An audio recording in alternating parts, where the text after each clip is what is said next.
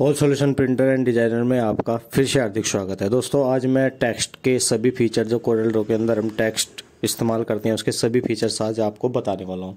सबसे पहले मैंने एक लाइन टाइप की है all solution printer and designer इसके बाद लाइन को टाइप करने के बाद कई बार कस्टमर बोल देता है, मुझे फ़र्स्ट लेटर सभी लेटर इस स्मॉल में चाहिए, लेकिन फ़र्स्ट लेटर मेरे को थोड़ा इससे बड़ा चाहिए। तो कंट्रोल टी से दोस्तों, ये डायलॉग बॉक्स आया है।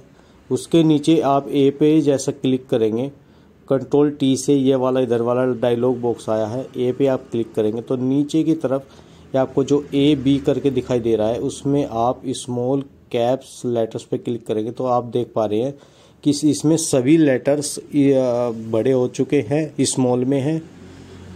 पहला फ़र्स्ट लेटर बड़ा है बाकी सब छोटे हो चुके हैं और, और सभी कैप्स में हैं।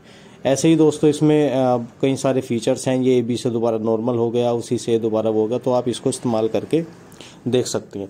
उसके बाद दोस्तों, यदि आप साइंस की कोई इक्वेशन या मैथ का कोई पेपर बना रहे हैं, उसमें स्क्वायर आपको लगाना है क्यूब आपको लगाना है, ऊपर ये नीचे, जैसे मैं आपको लगा करके, जैसे एच टू ओ मैंने सिंपली टाइप करा है।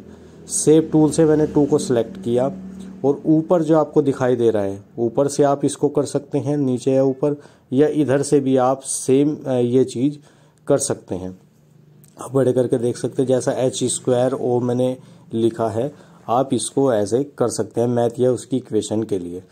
तीसरी टिक मैं आपको आज बताने वाला हूँ, मैं चार पाँच लाइनें इसकी कॉपी कर लेता हूँ, ताकि आपको समझ आए कि काम कैसे हो रहा है।